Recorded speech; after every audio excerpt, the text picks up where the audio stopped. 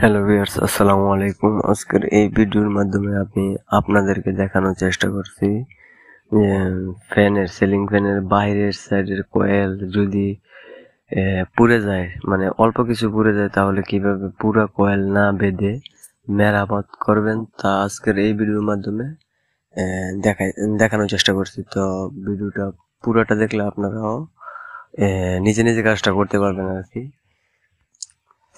তো আমাদের কাজ করতে গেলে যা যা মালের প্রয়োজন হবে পঁয়ত্রিশ নাম্বার গ্যাজের তার লাগবে লাগবে ফাইবার মানে লেদারের পেপার লাগবে, তারপরে লাগতেছে আমাদের টিউব এম্পিয়ার টিউব, তারপরে আমাদের লাগতেছে গিয়া বার্নিশ।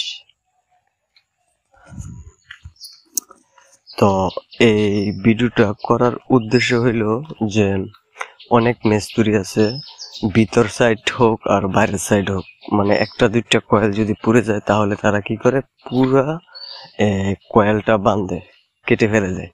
কারণ এটা ঠিক না। কারণ অল্পতে যদি সারা যায়, তাহলে আমাদের পুরোটা বাঁধার কোনো প্রয়োজন নাই। তো অনেক মেস্তুরি আমি দেখছি যে, ভিতরের সাইডে যদি একটা বা দুইটা পুড়ে যায়, তাহলে কি করে? তারা পুরোটা বাদ করে তারপরে আপনার তারা কাজ করে। তো এটা ঠিক না, এটা খরচটা বেশি, অযথা অপচয় করা হইল। তো ভিডিওটা করার উদ্দেশ্য এই যে, আমি দেখাইলাম যে দুইটা বা তিনটা বা চারটা পাঁচটা যদিও পুড়ে যায়, তাহলে কীভাবে?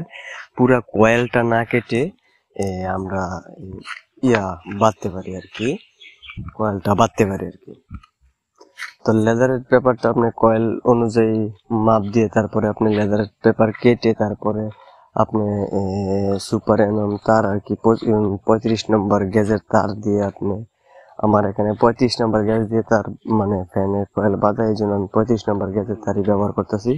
মূলত বেশিরভাগ পঁয়ত্রিশ আর চৌত্রিশ নম্বর গ্যাস দিয়ে বেশিরভাগ ফ্যান মানে কোম্পানি বাঁধে আর কি। তো আমার পঁয়ত্রিশ নম্বর দিয়ে বাঁধা এই কারণে আপনারা মানে তারের সাইজ নির্ণয় করে তারপরে আপনি কাজ করবেন তাহলে।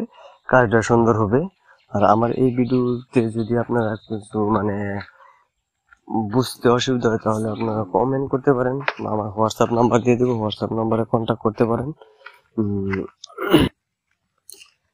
কয়েল বাঁধা শেষ হলে পরে বার্নিশ করে বার্নিশ করতে হবে। লিড চারটা লিড বের করে তারপরে আপনারা বার্নিশ করে দিবেন। পুরো কয়েলটা, কারণ বার্নিশ যদি না করেন, তাহলে আপনার সমস্যা হবে, শব্দ করবে এখানে। বার্নিশ করলে মানে তারটি সুন্দর মতন একসাথে লেগে থাকবে।